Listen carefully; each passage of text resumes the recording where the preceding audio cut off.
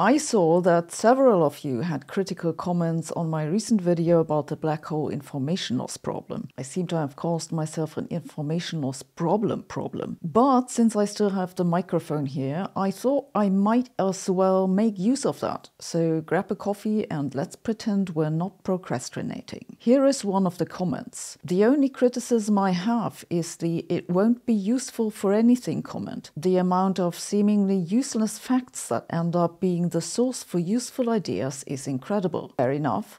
Before I reply to this, let me briefly summarize what I said in the video because even I got a bit lost half through. I said that resolving the black hole information paradox doesn't tell us anything about nature. Sounds harsh, I know, but it's not a hypothetical statement. The paradox has been resolved multiple times already and it hasn't told us anything about nature. The video was a brief update about a recent publication which said that black holes leak information information as they radiate. So the problem has been solved again, this time by two guys who I've known for decades. Hey, Xavier, Steve, in case you're listening, great work. I've talked about this topic in longer videos several times before, and here's the issue the lack of nuance. I didn't tell you the full story. The full story goes like this The black hole information loss problem is a mathematical inconsistency. You take Einstein's theory of general relativity, that's not a quantum theory theory and combine it with the quantum physics of particles. This gives you what's called semi-classical gravity. That's what Stephen Hawking did in his calculation. It does not contain quantum gravity because that would mean that gravity itself has quantum properties, not just the particles. I know that's linguistically confusing, but not everything with quantum and gravity is quantum gravity, just like not everything with you and tube is YouTube. Hawking's calculation doesn't use quantum gravity because we don't have that theory, and even for a theoretical physicist, it's difficult to calculate with equations that you don't have. So Hawking used this semi classical approach.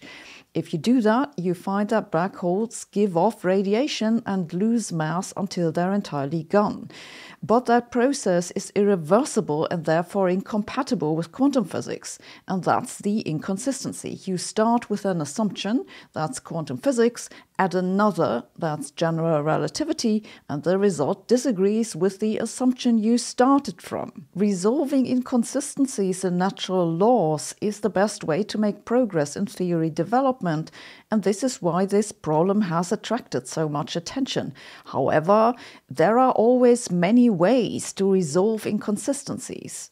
To see this, you only need to know that if you have any set of assumptions that has an internal inconsistency, you can just throw out assumptions until the inconsistency vanishes. There are many ways to do that, and physicists have tried all of them. Think of it this way you're getting married, and you have to assign people two seats but Aunt Annie can't sit next to Uncle Bob. The Jacobson family shouldn't get too close to the drinks. You can't put a single woman on a table with only men, and so on. After thinking about this for six weeks, you formally prove that there exists no seating order that'll fulfill all requirements. So you take people off the guest list until the problem's solved. There are many ways to do this, and maybe now you think that getting married wasn't such a great idea after all. And that's basically how physicists deal with inconsistencies. They take assumptions for their calculations off the guest list. The most obvious unwelcome guest for black hole radiation is the idea that semi classical gravity is sufficient to calculate what happens. I think this has always been obvious. It's just that since we don't have a theory of quantum gravity to deal with the calculation, there wasn't anything to be said about it. This is where the problems of academia come in. If there's nothing to be said about a problem, you can't publish papers about it. So, what happened is that physicists found reasons for why the semi classical approximation should be good, for why quantum gravity should not be necessary.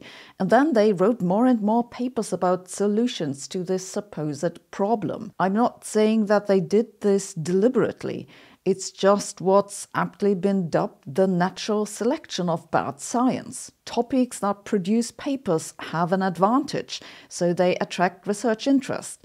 It's the same thing that happened with string theory and inflation. These ideas lend themselves to writing papers, and so they produce results, and that generates funding, which pays for people to write more papers, and so on. Some of the solutions for the black hole information loss problem have been, for example, that black holes leave behind remnants, or that black holes never really form, or that they create wormholes, or that the information comes out or that maybe quantum mechanics is just wrong. There's a very long list of these solutions. And it's not like they're mathematically incorrect, they're mostly mathematically correct. But which of them describes what physically actually happens?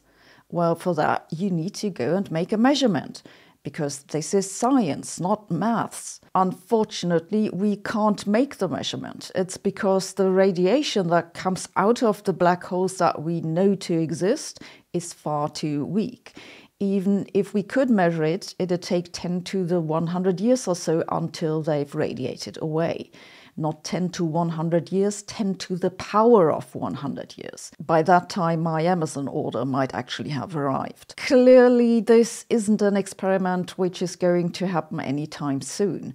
The only way to do an experiment would be to find tiny black holes that decay quickly, which isn't as nutty as it sounds. I just talked about this in another episode. So, I've summarized a 5 minutes video in 10 minutes. Now all you need to do is double it 20 more times and we'll break YouTube. That said, let me then answer these comments. The only criticism I have is the it won't be useful for anything comment. The amount of seemingly useless facts that end up being the source for useful ideas is incredible. The reason I said this is that we have no way to make black holes, so there's no practical use in knowing how they decay. We couldn't do anything with that knowledge even if we had it. Maybe it would become useful in a million years or so, but is this something we need to work on right now? I agree that I shouldn't have said that it won't be useful for anything because you never know who or what might be inspired by such a finding.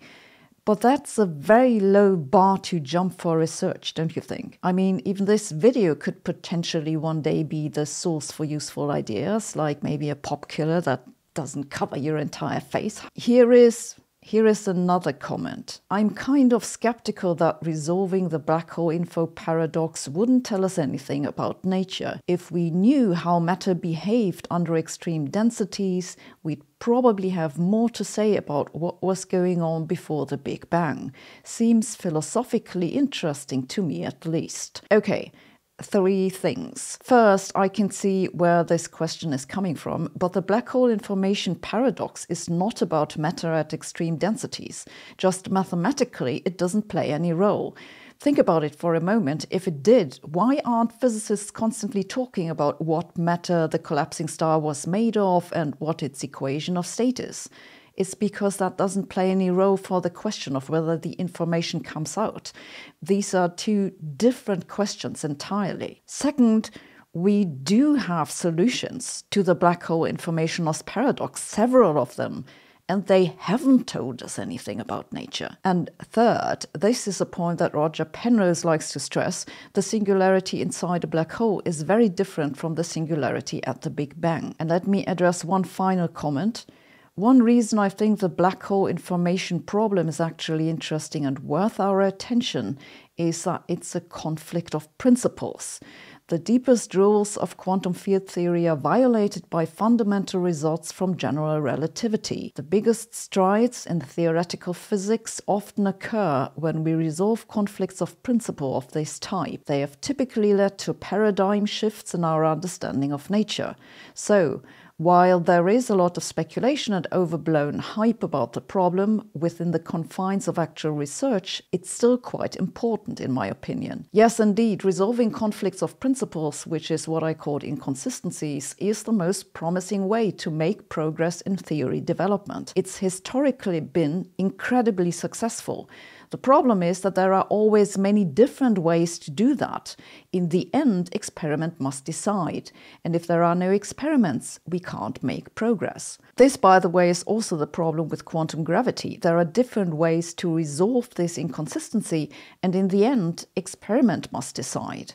So, for what I'm concerned, we should focus on figuring out how to make these experimental tests and this is what I worked on after abandoning the black hole stuff, but that's another story and shall be told another time. So, enough now, go and do something useful with your day.